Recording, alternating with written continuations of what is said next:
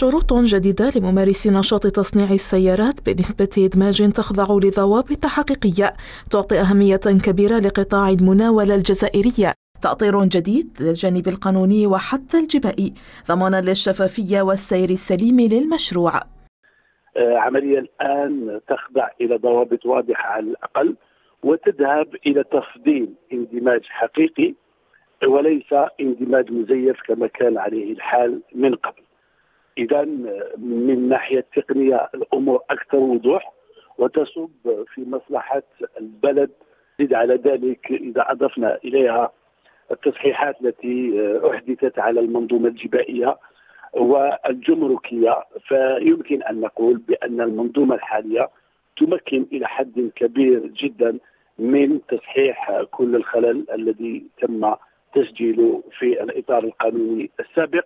إرساء قاعدة صحيحة لصناعة السيارات قد يفتح الباب أمام الشركات العالمية للاستثمار بالجزائر لتصبح بذلك بوابة للأسواق الأفريقية.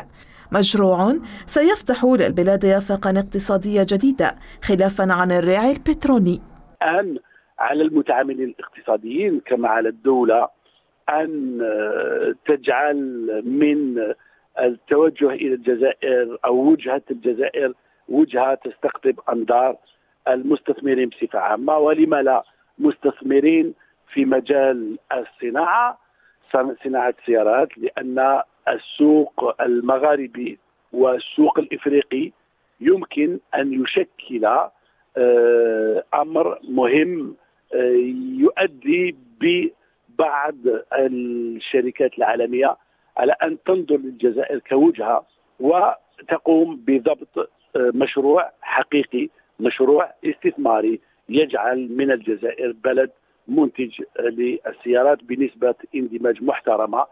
تصنيع سيارة جزائرية بنسبة اندماج لا تقل عن 50% في غضون خمس سنوات.